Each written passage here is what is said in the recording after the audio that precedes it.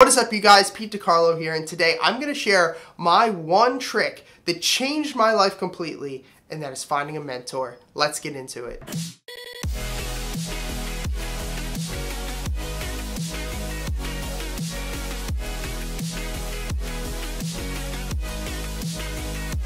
So for those of you who have not read the book Mastery by Robert Greene, there is an amazing chapter in there about mentors and mentorships. And one of the biggest problems that I see from a lot of people in my life, and it happened to me personally, is that they are taking advice from people that they shouldn't. So now about 10 years ago, when I really wanted to reshape my life, I was left with knowing that I didn't want to work a normal 9 to 5 and I wasn't really fit to be in a classroom. So at this pivotal time in my life, I thought that it was important to talk to the people that I held dear to my heart, like my friends, my family, and my parents. And honestly, most of them at the time said you should really go back to school because you need an education. You really shouldn't try to start a business because most businesses fail. And you shouldn't start trading stocks because 95% of stock traders fail. What I very soon realized is that who you take advice from is extremely important because you're not gonna get rich from taking advice from a poor person. And the worst aspect of all this is that usually the people who want to give you advice are people who care about you most.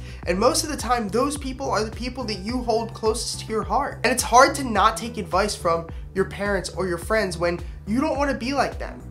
In my position, most of my friends were broke and poor, and I didn't want to be anything like them. Now, that doesn't mean that I didn't love them or that I didn't want to be around them. It just meant that I don't want to take advice from them. I have honestly had the closest people in my life almost ruin me just by giving me bad advice. And if I would have listened to them back then, my life would be completely different right now. And so I want to ask you, would you take diet and fitness advice from somebody who's 40 pounds overweight?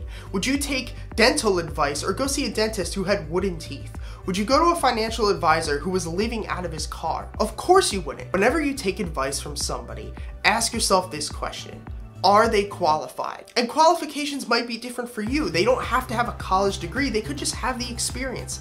In my case, I'm not a millionaire. So if you want to learn from me how to make a million dollars tomorrow, like that's not going to happen. But if you want to see somebody who's living the real world experiences that you want to live, or maybe you just want to not work a 9 to 5 that you absolutely hate, then you can come to me. And if you don't have anybody in your life that you can get good advice from or someone to go to, then just listen to your gut instinct. A mentor of mine, Dan Lok, always says that when you take advice from somebody, you are taking their life. And I know that that might sound too deep, but it's true. Like, would you want to take the life of your mother or your brother or your sister or anybody who's giving you advice? If you're taking advice from somebody who is overweight, broke, and has no ambition, do you want that person's life? Do you want to be like that person? That's something to think about. You could always take somebody's advice into consideration, but always take it with a grain of salt. This is the one thing that changed my life personally and financially, and that is finding a mentor. And in this video, I wanna give you some steps that you can take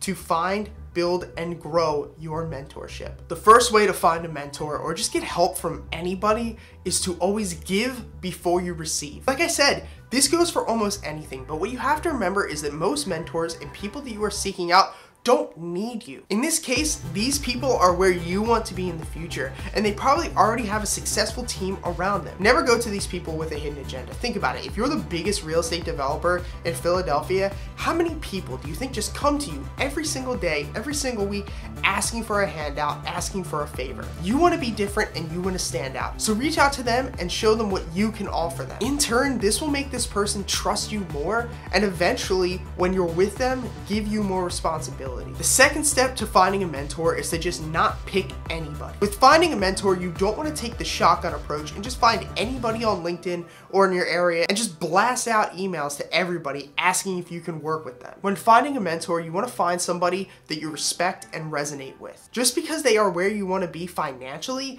doesn't mean that they need to be your mentor. There needs to be more than just a business or a financial connection. There needs to be a human connection. Do your guys' morals align? Maybe this person is where you want to be in five or six years, but he or she is a terrible person. They treat their clients and their employees terrible. They're disrespectful. That's not somebody that you want to learn from. There are so many people in this world who can be your mentor and can teach you the things that you want to learn. So make sure you pick somebody that you resonate with. Step number three is to remember to always respect people's time and space. Never just barge into somebody's office and demand to work for them or beg and tell them that you'll do anything to work with them. This is one of the biggest things that just pisses me off as an individual. Whether you're my friend, a family member, or a client, if you disrespect my time and my space, you're dead to me. Because people that you want to mentor you don't have a lot of time and their space is so highly regarded to them and the people around them that if you disrespect it, you're the last person that they want to work with. This also goes with being too timid and not wanting to reach out to people. I see so many people afraid to approach successful people, whether it's through emails or phone calls or even at a seminar or something. What you gotta understand is that a lot of these people that you want to be mentored by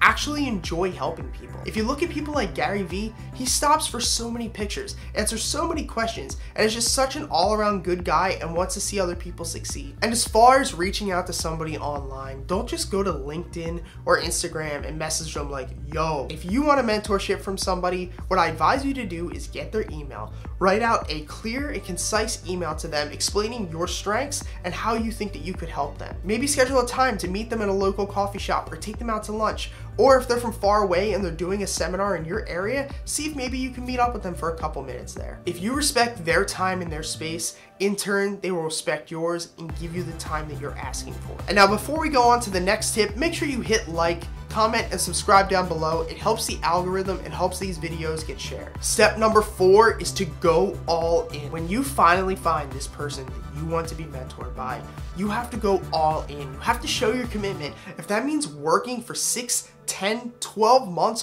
for free to show that you're dedicated, do it. Don't just think of this as some job that you'll be at for a couple years or that you're gonna go to this company and work with this person and just consume everything they have and leave. In martial arts, you have the sensei, which in this case is your mentor, and you are the student. You don't just go to a jujitsu academy for two or three years, learn everything from the black belts there, and then leave. You stay with them and you are committed with that gym and with that trainer. You represent your sensei for the rest of your life. And you should think of mentorships the same way. They are your sensei and you represent a piece of them for the rest of your life.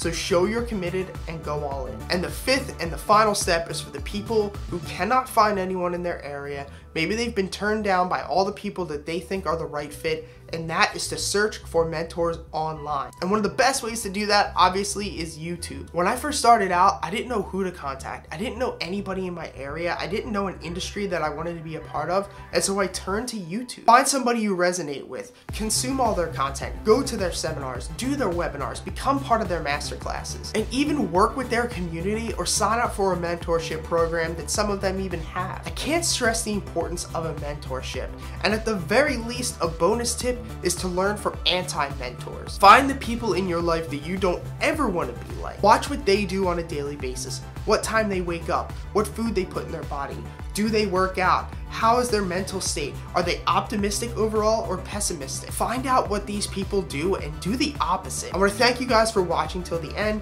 Make sure you hit like, comment, and subscribe. I'm to be putting out a lot of content in 2020 and we have almost 550 followers. This channel means a lot to me, you guys, and I can't believe that we're growing at such a high pace. I want to thank you guys for watching. Until next time, I'll see you.